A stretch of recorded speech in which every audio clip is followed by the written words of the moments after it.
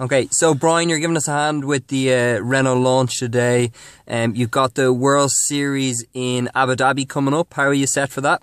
Yeah, World Series. It's two weeks. It's come around really quickly. Wow. Um, I'm in good form. I raced in Puerto Rico and Cuba, uh, third and a fourth. Um, season openers, you never know how they go. Sometimes they go really well, sometimes they go terrible. I know last year opened with an 11th in um, in Elwood in Australia and was really disappointed with that.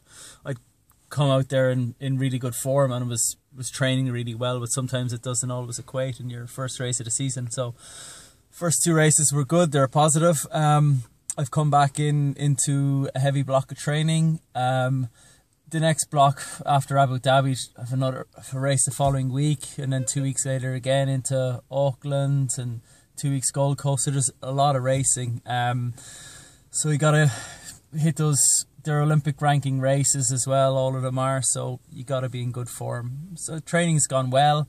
Um, not carrying any injuries. Uh, sure, you're always gonna look for more. You're always gonna be pushing, but um, I can't complain.